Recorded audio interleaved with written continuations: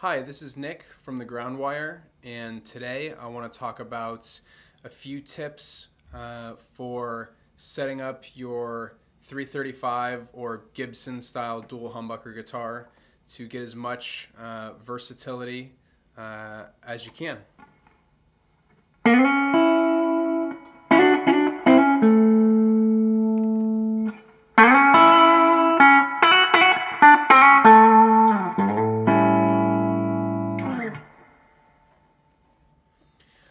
Okay, um, so the purpose of this video is to um, discuss ways to kind of set up. Um, really, I'm using a 335 because I think that the 335 is one of the most versatile uh, guitars, I mean, really ever. Um, it's my favorite Gibson uh, style guitar, but this would apply to any dual humbucker or really dual pickup, so P90 included uh, Gibson style guitars. So Les Pauls, SGs, anything like that, as long as it has uh, two volume and two tone controls. Okay. Um, so if you're anything like me, and I think a lot of um, guitar players do this, for the first many, many years that I played Gibson style guitars, um, I was using either the bridge pickup or the neck pickup. Uh, and really, to be honest, only the bridge pickup, like 90% of the time. Um, and I kind of thought Gibson type guitars were sort of a one trick pony for crunchy rock and roll type sounds. Um, and it wasn't until, you know, many years later, figuring out that there's a whole other world of tones out there that, that these guitars are capable of uh, and a lot of those sounds really live in the volume and tone controls. Um, you know, like many guitar players, I also bridge pickup, volume and tone at 10, uh, and that's kind of how I always played. Um, the majority of our, you know, guitar heroes from the 60s and 70s whose classic tones we're all chasing, well, those guys didn't have channel switching amps and and they used the knobs on their guitars.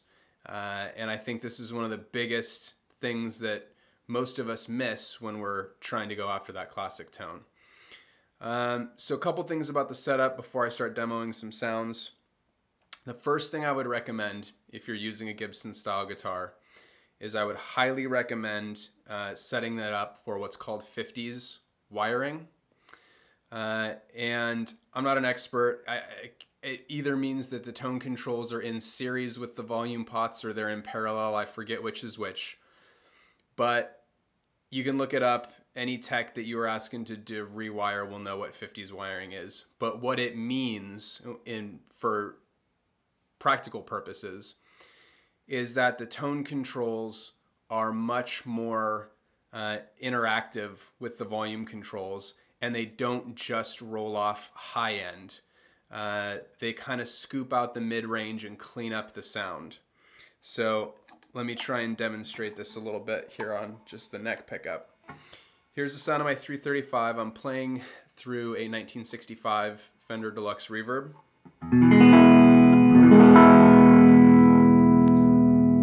Now I'm gonna roll the tone control back and you'll hear that it's also taking out mid-range as well.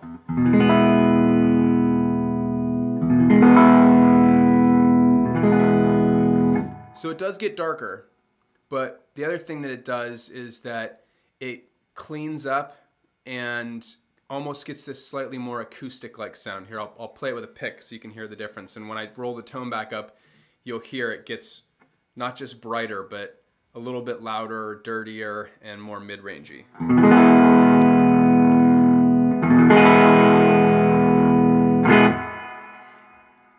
Okay, so the first thing, yeah, 50s wiring um, makes the tone controls a lot more usable as opposed to just not doing much and then shelving off high end. Um, which the tone rolled all the way off sound, you know, the the that's a cool sound too. Um, but the 50s wiring enables you to get a lot more out of your tone controls, in my opinion. Um, obviously, if you can if you can um, use lower output pickups, I think that's really helpful um, in getting those classic sounds. Obviously, high output pickups, especially humbuckers, they have a place for certain sounds. Um, for the kind of tones that I'm talking about today, uh, a PAF, a vintage wind type thing is helpful. Okay, so what's the trick? Well, really, in essence, the trick is basically always using both pickups and blending using your volume and tone controls to, to get a variety of sounds. So uh, let's demonstrate that a little bit. So if I were to use just the neck pickup and switch to the bridge pickup, um, the sounds are cool, uh, but they're somewhat neither one are to me is the beautiful airiness that you get out of both pickups on. Uh, you just get more dynamics. Um, here, I'll show you. So here's the neck pickup.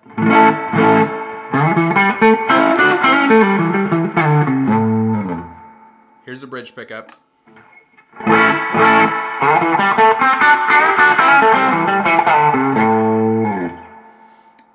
Now, I'm to go in between with both volumes all the way up. It's a cool sound, but this still isn't quite what I'm after yet.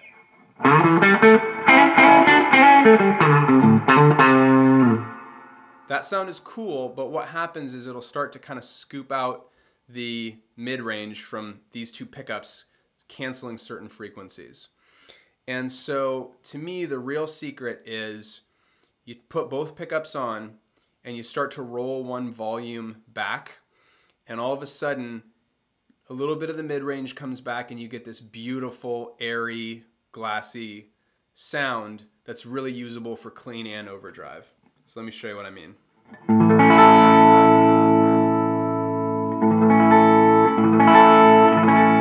So I just rolled the neck pickup down from 10 to 8 uh, and all of a sudden it cleans up and it gets that beautiful glassy uh, airy sound.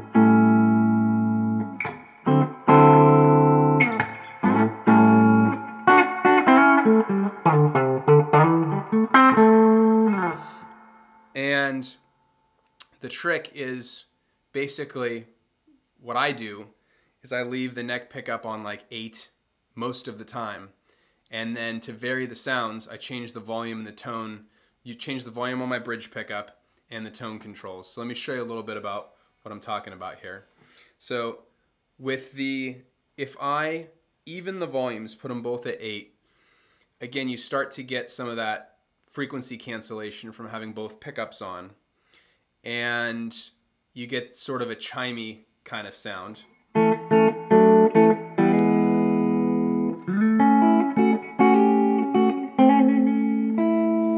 Listen to what happens as I roll the volume up.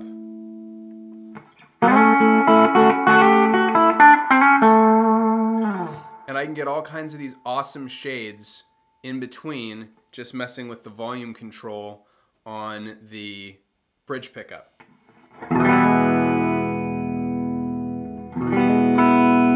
So with the volume down like that around 4 on the bridge pickup, you get this almost acoustic-like sound that's awesome for strumming. And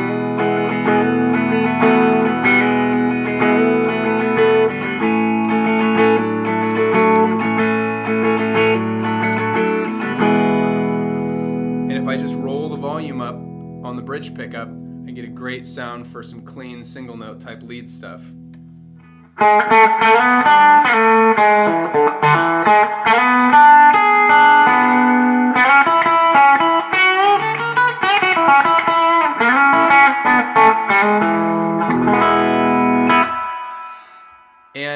There's so many different sounds everywhere in between that you can that you can get.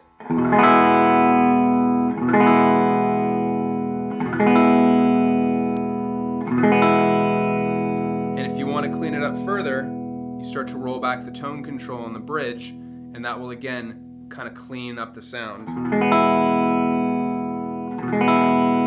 without making it too much darker.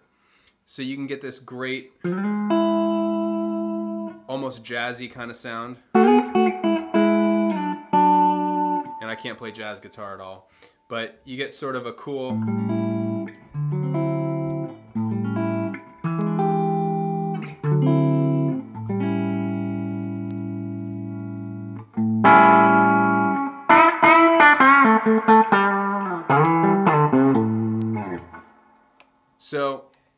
So the, all the sounds are available by just leaving both pickups on, always keeping this pickup selector in the middle, and just changing the relationship between the balance of the pickups. Same thing works awesome for um, for using with overdrive. So I got uh, this is a the Foxrox FR100 um, off screen here, but uh, just with any kind of overdrive pedal, um, you can get a great crunchy sound, great rhythm sound that's good for kind of chords and isn't too thick by rolling the volumes back, and then roll it up and get get some more sustain for leads. So.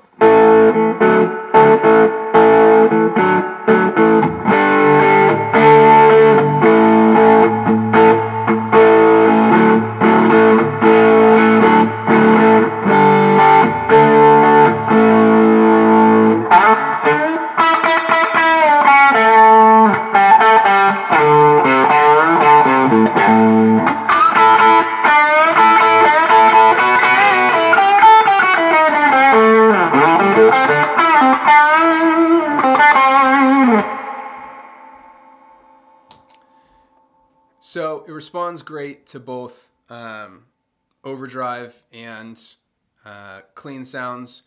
It gives you way airier, uh, thinner, brighter, less compressed sounding cleans. Uh, whereas before I really only liked humbuckers for overdrive. Um, what else is there to say? Yeah, use the volume and tone controls. The secret is having the pickup selector right in the middle a lot of those real classic Jimmy Page lead guitar sounds uh, where you can really hear his pick on the strings, like think Since I've Been Loving You. That's like Les Paul in the middle selector for sure. And uh, you know, one of the great things about the old pickups, and th- this is this is a 1985 uh, ES335, but it has the Shaw pickups, which are also unpotted like the originals, and you'll hear they are totally totally microphonic in a good way because you can really hear the detail of the picking. So lower output, vintage style humbuckers, 50s wiring, middle uh, selector, and just mess with those volumes and tones and uh, get a whole variety of sounds that way.